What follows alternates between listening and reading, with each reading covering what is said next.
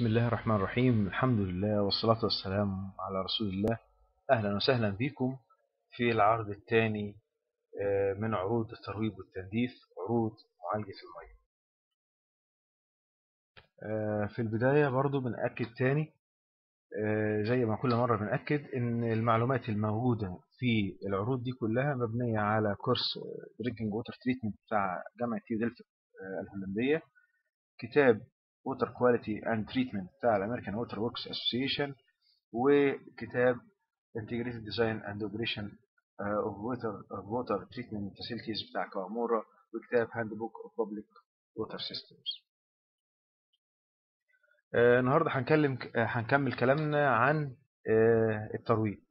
آه النهاردة هنتكلم على الجزء الهندسي من عملية الترويب. الجزء العرض الأولاني كان بيتكلم عن الجزء الكيميائي. لكن النهاردة هيكون الموضوع هندسي أكتر. هنتكلم عن الخلط السريع عن الخلط الهيدروليكي أو ال static mixers على حسابات ال G value على الخلط الميكانيكي وإزاي نحسب ال G value ليه وعن نقاط الحقن وفي الآخر هنوصل لل conclusion النهائي. الخلط السريع هو لما اتكلمنا عن الترويب قلنا هو عملية إضافة المروبات أو المواد المروبة إلى المياه الخام في وجود الخلط السريع. لضمان الكلمة اللي بنقولها دايما لضمان خلط الشابة بكل نقطة مية الحاجة دي مهمة جدا. نوعين من الخلط mechanical mixers و static mixers mechanical mixers يعني في آلات ميكانيكية ومعدات ميكانيكية بتتحرك وفي static mixers يعني إحنا بنعتمد على الخلط الهيدروليكي ان المية. هي اللي بتعمل الحركة وهي بتعمل الخلط للشابة فيها. اللي بيؤثر عموما في ال rapid mixing العوامل المهمة فيه هو زمن ال mix إحنا بنخلط زمن قد إيه؟ أدي أول حاجة وثاني حاجة ال velocity gradient أو ال G value هنأكد إن عملية الخلط السريع هدفها التأكد من خلط الشابة مع كل نقطة مية أنا بتكلم الكلام ده ليه؟ لأن أحيانا الناس أو بعض الزملاء اللي شغالين في المحطات ما يكونوش حاسين بأهمية إن المية أو تتخلط بالشابة أو إن الشابة تتخلط بكل نقطة مية الحاجة دي مهمة جدا جدا لأن لو ما حصلش الخلط ده فجزء من المية هيكون فيه الشابة هيحصل فيه عدم استقرار للشحنات السالبة هتتجمع وهتتروب وممكن بعد كده الندبة تكبر لكن الجزء الثاني لما وصلوش الشابة هيفضل مية عكر وبالتالي العكرات في المية هتفضل زي ما هي مش هتتغير وإن كانت هتقل لكن هتفضل برضه المية عكرة طرق الخلط السريع عندنا خلط هيدروليكي وخلط ميكانيكي. خلط هيدروليكي ده يطلق عليه أحيانا static mixers والنوع الثاني هو الخلط الميكانيكي. الخلط الهيدروليكي أنواع كتيرة لكن من أشهرهم هو ال weir mixers أو الخلط بواسطة الهدارات والفكرة هنا بمنتهى البساطة أن المية زي ما أنتم شايفين كده في الصورة اللي على اليمين فيه المية بتكون داخلة من تحت لفوق كده وبعدين تخش على هدار وبعد كده تطلع تاني على الهدار أقل منه شوية. فبالتالي المنطقة اللي في النص دي جزء منها بيكون في مية نازلة وجزء تاني هيكون في مية طالعة. فبالتالي النقطة دي الحتة دي بتكون منطقة تربلنس أو سريان دوامي. فساعتها إحنا بنعمل إيه؟ بنيجي على المنطقة دي ونحط ماسورة. الماسورة دي بتبقى مخرمة تنقط نقط الشابة على المهم في الخلط السريع إن يكون زمنه طبقا للكود المصري من 30 ل 60 ثانية وقيمة ال G value بتكون 1500 per second يعني إحنا لما نيجي نصمم مرحلة الترويب بنقول هنضيف شابة لكن مكان الخلط نفسه اللي هو بيسموه ال flash mixer بيكون عبارة عن حوض عاملين حسابنا زمن ال mix فيه بيكون حوالي من 30 ل 60 ثانية يعني بياخد تصرف المحطة لمدة نص دقيقة و آه، كده بنعمل فيها الخلط اللي بيحقق لنا G value أو velocity gradient آه، قيمته آه، 1500 per second زي ما أنتم شايفين كده ماسورة مخرمة وآدي ال- ال weir وآدي المنطقة اللي هو اللي بنسميها آه، منطقة ال turbulence دي النقطة اللي هو فيها الزبد الأبيض ده والنقط بت- بتنزل عليها نقط الشبه إيه؟ بتنزل عليها. آه، ده في مدخل محطة في هولندا لما كنا هناك مع الزملاء من دمياط ومن اسكندرية فكانت الماسورة برضو بالعرض وبتنقط الايه الفيريك كلورايد هم بيستخدموا هناك ما بيستخدموش الشبه بيستخدموا كلوريد الحديد لدخول المية للمحطة في محطة آه، السيوف في اسكندرية. الشابة بتصب آه، بتيجي من طلمبات الحقن في الماسورة دي وتتوزع من خلال ال V-notch دي تنزل في شكل نقط على مكان ال turbulence التحتي برضو آه، طريقة جيدة للترويب. إحنا بنقوله G value بنقوله velocity gradient يعني إيه؟ شوفوا المعنى هنا مهم جدا. معناها مقدار الطاقة المبذولة في الخلط. يعني إحنا هنحسب قد إيه القدرة الم- المستهلكة في الخلط في خلال ثانية. قد إيه؟ المفروض الحسبة دي بتقول لنا وتعبر على آه، مدى آه، قوة الخلط ومدى آه، تركيز عملية الخلط خلط الشابة مع المية. طيب لما نيجي نحسب ال velocity gradient دي لو زادت معناها إيه؟ ال velocity gradient أو G value لو زادت معناها إن في خلط عالي جدا. طيب كويس. ولو قلت قلت معناها إن كمية ال- ال- الطاقة المبذولة دي قليلة جدا فبالتالي ممكن المية ما تكونش اتخلطت كويس. طب إحنا عايزين إيه في الخلط السريع؟ إحنا عايزين خلط عالي جدا عشان نضمن إن الشبة إيه إيه اختلطت بكل نقطة مية. طيب كويس. في حدود قد إيه إحنا عايزينها؟ ال G value لما نحسبها تدينا الرقم ده على الأقل 1500 per second طب ال G value دي بتتحسب إزاي؟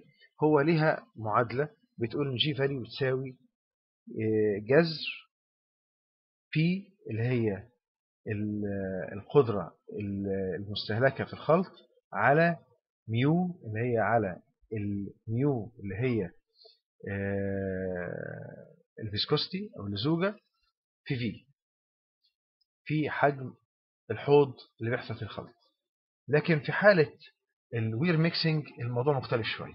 إحنا هنا كمية اللي إحنا بنقول عليها الخلط اللي الطاقة المبذولة دي مفيش ما نقدرش لازم نحسبها. فالخلط ساعتها بيكون آه، بيعتمد على آه، الارتفاع ما بين الهدارين الارتفاع ده ال H delta H ده هي دي الطاقة. المية كانت داخلة بطاقة قد قد كده من هنا طاقة وضع هنا خرجت بطاقة وضع أقل منها.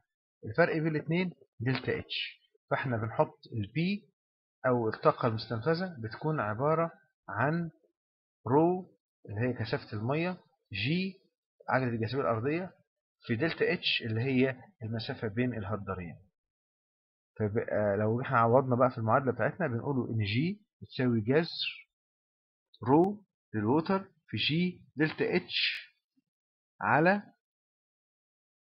تاو اللي هي زمن مكث المية في المكان دوا في ميو اللي هي ال viscosity. ميو اللي هي اللزوجة بتاعت آه، المية. طيب. نحاول نوضح تاني. المعادلة الأصلية اللي إحنا المفروض نحسب عليها وموجودة في الكود وفي كل الكتب G بتساوي جذر P اللي هي الطاقة المستهلكة أو المستنفذة في الخلط على ميو ال viscosity وال viscosity اللزوجة دي عادة بتحط آه، 10 ناقص 3 أو واحد من ألف. في ال V اللي هو الحجم اللي هو حجم الحوض اللي بيحصل فيه الخلط كويس؟ تمام. وبعدين ال P دي في حالة ال weir mixing بتساوي رو G في Q في delta H Q اللي هي تصرف داخل الحوض. delta H اللي هي المسافة بين الهدارين دولي في رو في G رو 1000 اللي هي كثافة المية في G اللي هي عجلة الجاذبية الأرضية اللي هي 89 فلما نيجي نعوض يبقى إحنا عندنا المعادلة بالمنظر ده. رو G delta H المفروض طبعا في Q على V لكن ال Q على V هنا معوضين عنها أو آه حاطين مكانها اللي هو تاو اللي هو زمن المكث ما إحنا عارفين إن زمن المكث بيساوي ال V على ال Q. فبالتالي ال V اللي هو حجم الحوض على ال Q اللي هو التصرف اللي داخل ده بيساوي إيه؟ تاو أو زمن المكث يبقى دي المعادلة اللي ممكن نحسب بيها ال velocity gradient أو ال G value في حالة ال weir mixing طب إحنا بنعمل إيه؟ بنجيب الحوض اللي بيحصل فيه الكلام دوت ونشوف delta H نعمل delta H بين الاثنين weir دول قد إيه. حجم الحوض بنعوض عن حجم الحوض. الميو 10 ناقص 3 إيه ال P بنعوض عليها بالمعادلة دي. 1000 في 89% في Q اللي هو ال meter cubic per second واخدين بالكم إن كل حاجة per second هنا. per second في دلتا اتش بالمتر فرق بين الاثنين مهدرين ونعوض. المفروض الرقم ده بيكون ضروري إن هو يكون أكتر من 1500 إحنا عملنا حسابات دي في بعض المحطات. الأرقام دي بتطلع كبيرة جدا. يعني بتكون 5000 10000 حد كده مش 1500 بس. فبالتالي ده يضمن لنا إن خلط كويس جدا للشابة مع كل نقطة. ميه إيه أثر ال velocity gradient والله اللي بيحصل إن كل ما ال velocity gradient زاد كل ما كانت الشبة بتخلط أحسن كل ما كانت ال turbidity اللي بتطلع لنا من ال jar test بتبقى أفضل. يعني زي ما شايفين في المنحنى اللي قدامنا فإحنا عندنا لما كانت ده ال velocity gradient وده ال turbidity الخارجة. فطبعا كل ما ما كل ال velocity gradient يزيد كل ما كانت طلع لنا من ال jar test بتبقى بتبقى أعلى.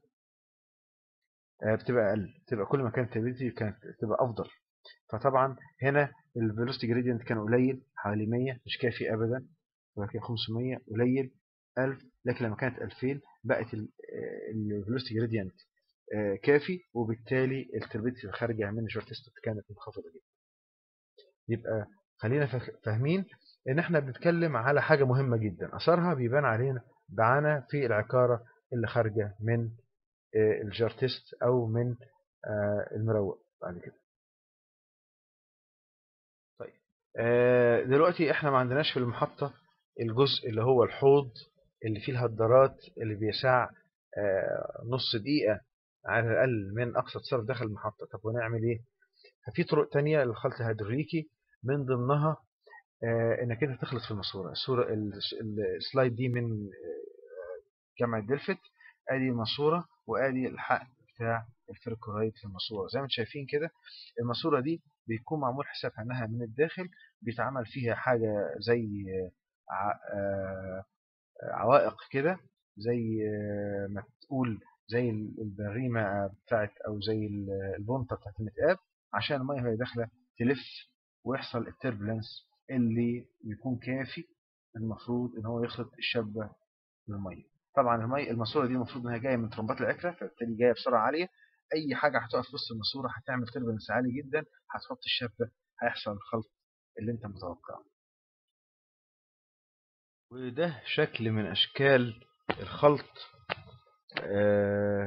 والحقن في الماسورة. في واحدة من محطاتنا زي ما أنتم شايفين كده الحقن. في الماسوره داخلة برج التوزيع ومختارين مكان بعد المحبس بحيث يكون فيه تربلنس كافي إنه يعمل خلط للشبة مع المية ده شكل تاني وطبعا ده أفضل. ستاتيك ميكسر ماسورة وصلة ماسورة محطوطة في في مسار المية العكرة وهي داخلة والحق واضح. من فوق حقن الشبة بحيث إن هو لما بتحقن بتخش في وسط العوالق العوائق دي كلها وتعمل خلط وخلط جيد لشبة مع المية. الصورة دي من السودان محطة محطات السودان وده طريقة الحقن بتاعتهم. طبعا بداية هو بيحقنوا poly aluminium chloride بوليمر. والحقن البوليمر محطوط في الخزان الأزرق اللي أنتم شايفينه قدامكم ده. وزي ما أنتم شايفين ماسورة نازلة لمكان الحقن اللي هو المفروض في الأرض هنا. بداية فين ترمبات الحقن؟ مفيش ترمبات حقن. إزاي بينزل البوليمر في الماسورة إذا كان فيها ضغط متوقع أن الماء ترد عليه.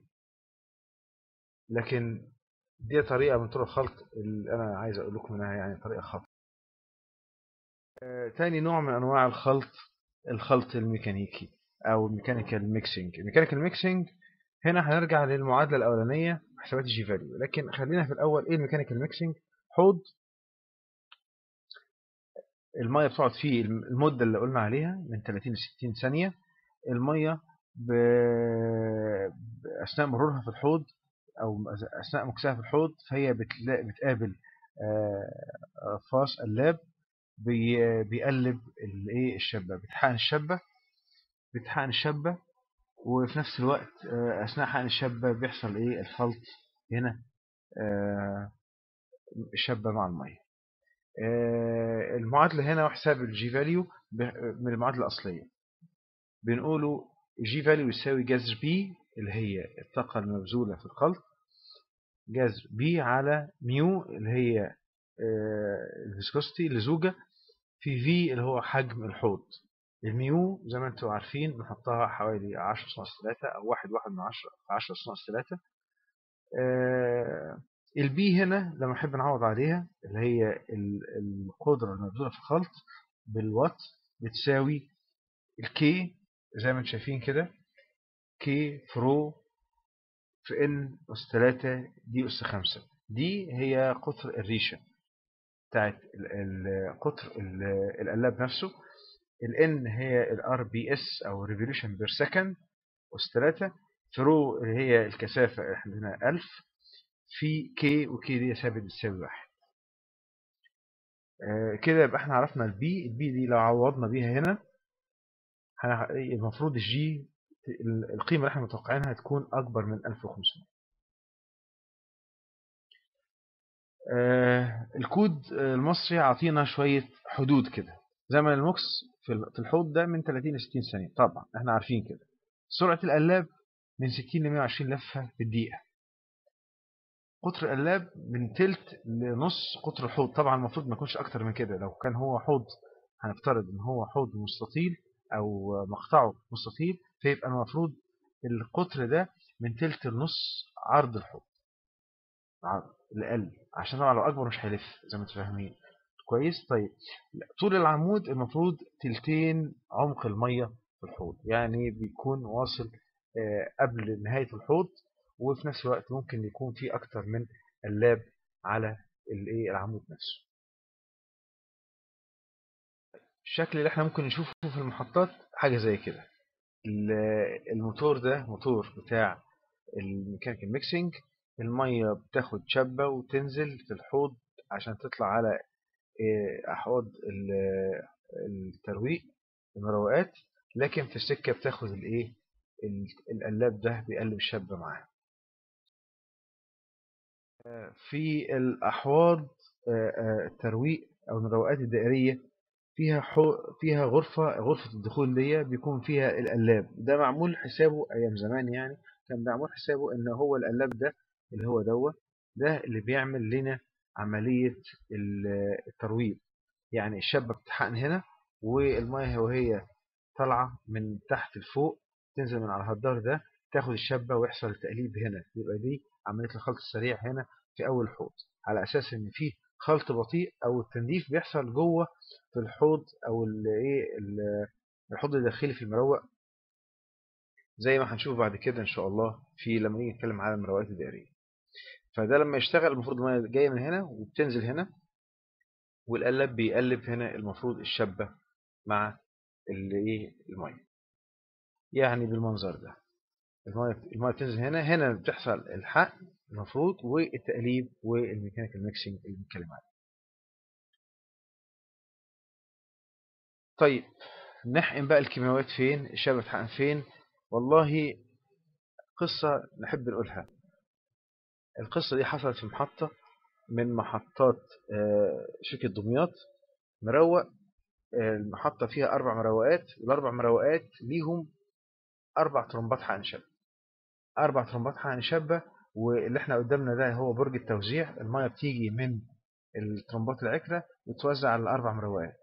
اللي بيحصل إيه؟ إن المية المفروض إنها بتخش من خلال هدار وتخش على المجرى ده وتروح منه على المروق اللي هي بتوزع عليه. في السكة بتاخد التقليب من خلال القلاب ده. فبالتالي هم عاملين حق للايه للشابة هنا. اللي بيحصل إيه؟ إن الشابة كانت بتروح لبعض المروقات أكتر من المروقات التانية. طب وبعدين؟ الحل إيه؟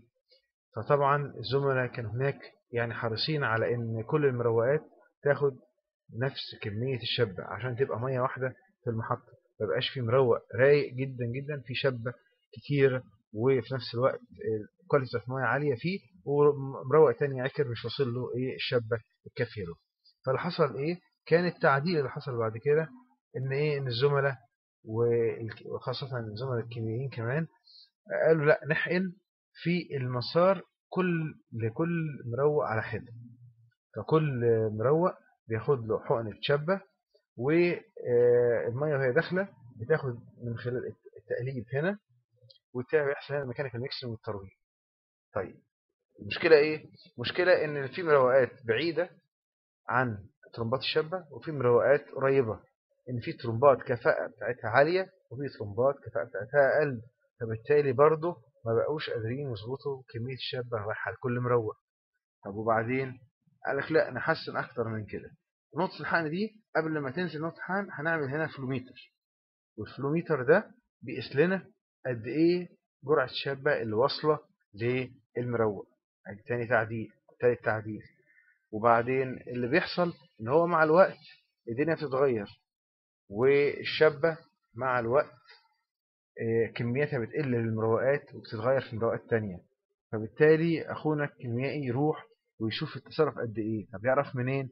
فبقى ياخد عينة من الشابة ويقيسها في الزمن. في زمن قد إيه؟ في زمن قد كذا ملا قد كذا. لا ده كده كتير. يجي قافل المحبس شوية وفاتح شوية وهكذا يتم يغير عشان ياخد الجرعة اللي هو عايزها لكل مروق طبعا مشكلة كبيرة جدا. الحل في الموضوع ده عشان نضمن إن كل النقاط كل المروقات أو كل الأحواض واخدة نفس كمية الشابه إن إحنا نعمل نقطة حقن واحدة. للماسورة الرئيسية اللي رايحة لبرج التوزيع ونعمل ونعمل حقن قبل محبس أو بعد محبس قريب جدا منه بحيث يكون في نقطة تربلنس تتخلط المية بالشبه خلط عالي وبعد كده المية بشبتها تتوزع زي ما تتوزع كل مروق أو كل مروق هياخد نفس كمية الشبه ونفس جرعة الشبه الكلام مش سهل لكن هو ده فعلا اللي بيحصل في بعض المحطات. الصورة بقى اللي قدامنا دي صورة لمحطه كومباكت المحطة دي عشان الأخ المشغل في المحطة يحن الشابة فعامل خرطوم الشابة ومدلله كده في المية. وهو كده المفروض بيعمل ترويب طبعا هو بيعمل ترويب لكن بدون mixing بدون خلط بدون خلط سريع.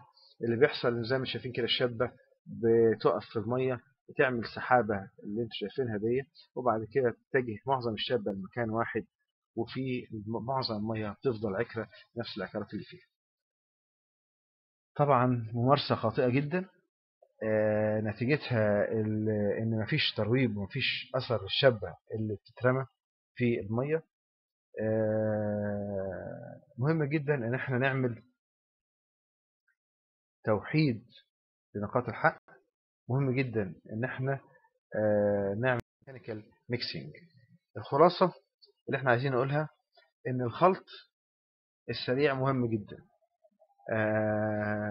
زي ما إحنا ما فهمنا دور الشبة وقد إيه إنها مهمة لكن الخلط السريع مهم جدا.